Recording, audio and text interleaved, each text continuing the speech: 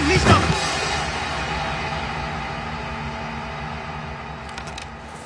Hallo, was wollen Sie? Ich will dich zum besten Taschendieb von Bogotá ausbilden. Interesse? Vergesst, Heime, ihr arbeitet für mich, und zwar nach meinen Regeln. Wenn ihr ein Portemonnaie stehlen wollt, benutzt dafür immer diese beiden Finger, wie eine Zange. Menschenmengen sind der natürliche Lebensraum der Taschendiebe. Arbeitet immer zu dritt. Einer lenkt ab, der zweite stiehlt und der dritte bringt die Beute weg. Und sucht euch einen dritten, ich stehe nicht zur Verfügung.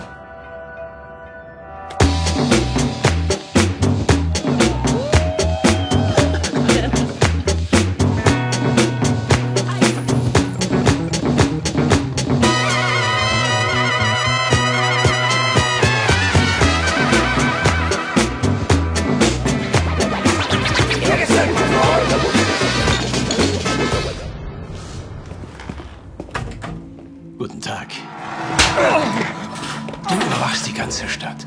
Aber ich überwache dich. Schnauze. Los. Los! Stopp! Ganz ruhig, ganz ruhig. Was soll die Knarre, Doggy? Umso mehr Geld wir machen, umso gefährlicher wird es für uns. Willst du mir in die Fresse hauen? Na los! Das will ich sehen! Ich weiß, dass du eine Armee von Kindern hast, die für dich arbeiten. Gut, dann regeln wir die Sache ganz vernünftig und gerecht. Du arbeitest für mich. Also gib sie mir. Überlass sie mir. Ich gebe dir den Anführer. Was hast du mit ihm vor?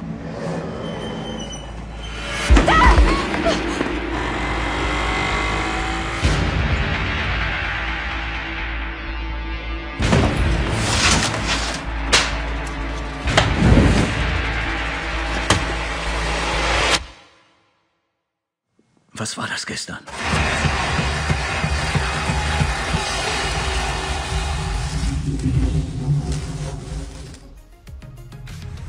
Kolumbianische Hauptstadt Bogotá ist eine Stadt, in der die Kriminalität nur so blüht. Also der perfekte Ort, um sich zum professionellen Taschendieb ausbilden zu lassen. Und eine Gruppe junger Nachwuchsgauner beschließt genau das zu tun. Ihr Lehrer ist dabei ein wahrer Meisterdieb, der den lernwilligen Jugendlichen allerdings nicht ganz selbstlos unter die Arme greift, sondern von ihnen mehr profitiert, als ihnen lieb sein dürfte. Während sie nämlich nicht zuletzt auch für ihn die Drecksarbeit auf den Straßen der Stadt erledigen, überwacht der Lehrmeister das ganze Treiben entspannt aus der Vogelperspektive.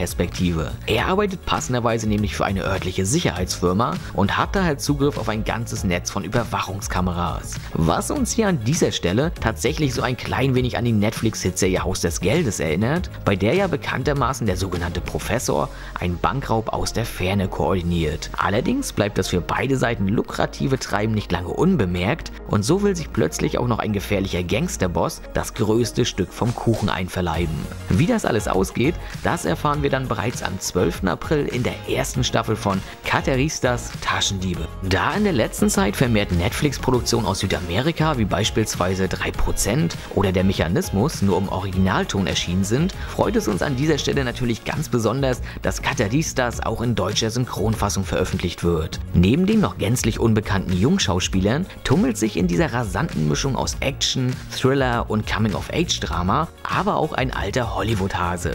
Die Rede ist von Carlos Bardem, dem Bruder von Oscar-Preisträger Javier Bardem. Den mittlerweile 55-jährigen Spanier sah man zuletzt ja unter anderem in den Kinofilmen Americano und Assassin's Creed. Wir freuen uns auf jeden Fall bereits sehr auf diese erfrischend wirkende neue Diebesserie aus Kolumbien und sind gespannt, ob sie die Erwartungen, die der Trailer bei uns geweckt hat, erfüllen wird. Die Thematik rund um Taschendiebe und ihre gewieften Tricks ist ja in der heutigen Zeit auch viel mehr ein globales als nur regional begrenztes Phänomen, hinter dessen Kulisse ja sicherlich viele von euch schon einmal einen Blick werfen wollten. Wir hoffen, dass wir euch hier ein wenig für diese neue Serie begeistern konnten und sind gespannt, was ihr nun über die Taschendiebe aus Bogota denkt. Wir wünschen euch einen nicht allzu stressigen Wochenendspurt und möge der Stream mit euch sein. Bis bald.